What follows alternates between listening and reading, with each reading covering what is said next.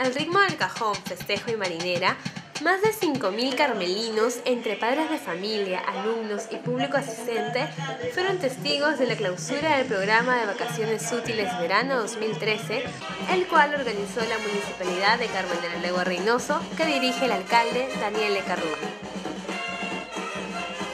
Verdad que estamos muy contentos y agradecidos que hayan participado en los talleres de verano, en las vacaciones útiles con nosotros. Dios los bendiga a todos ustedes, a su familia, a sus hogares. La bendición y la tranquilidad y la paz que necesitamos en Carmen Alegua, Reynoso, Villa Señor Milagro y todo nuestro país. De verdad, damos oficialmente por clausurada las vacaciones útiles y que siga la fiesta. Muchas gracias. Asimismo, la autoridad edil manifestó que estas vacaciones útiles fueron un éxito debido a la concurrencia de más de 3.000 alumnos inscritos en 50 cursos durante estos dos primeros meses del presente año, con la presencia de renombrados profesores. Estoy casi observando las clausuras en dos municipios más y esta es una de las más apoteósicas, si se quiere. ¿no? Felicitaciones a la gestión del doctor Rubio. Como parte del curso de modelaje, lindas carmelinas derrocharon belleza y estilo en la pasarela. Natación fue la asignatura más concurrida con 800 estudiantes, seguido de las clases de fútbol y vóley con 400 alumnos cada uno. Asimismo, los cursos de taekwondo, baile coreográfico, guitarra y ballet tuvieron una alta participación.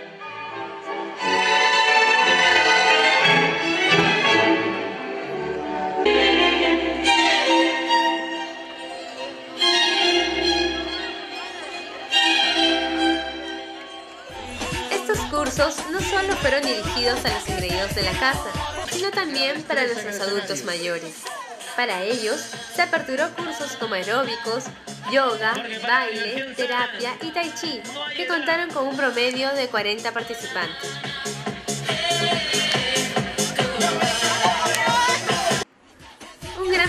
Dio inicio a la clausura de las vacaciones útiles. En este curso participaron carros alegóricos, bandas de música, muñecos inflables gigantes, bailarinas integradas por el personal del municipio, danzas folclóricas con vistosos trajes típicos, así como la milenaria danza del dragón chino, personajes infantiles y el zumba carmelino.